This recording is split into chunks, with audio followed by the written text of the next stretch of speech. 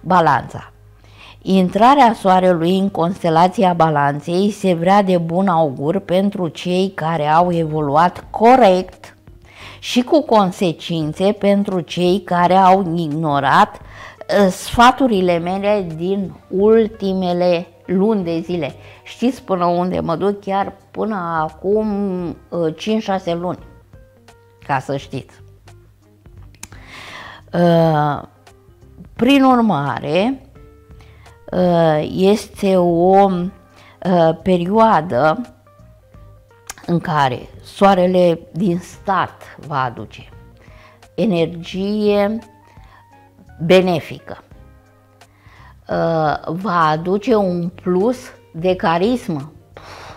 Balanțele acum se spune că au un magnetism aparte de pot să facă ravagii.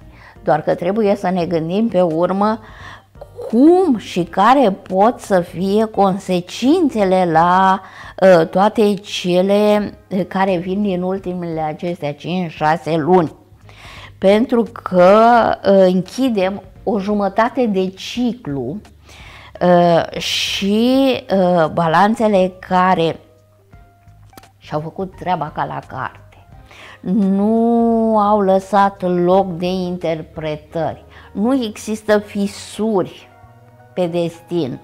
Au fost diplomate și au știut cum să pună punctul pe ei, acelea vor avea numai de câștigat. Celelalte trebuie să întrebe de ce au ajuns în situația asta.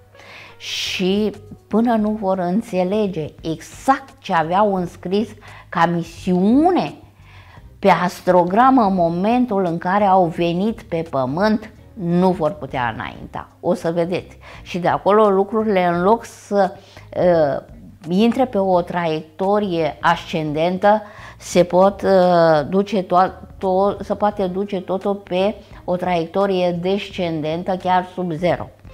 Uh, dar nu-mi doresc, eu vreau numai prima parte.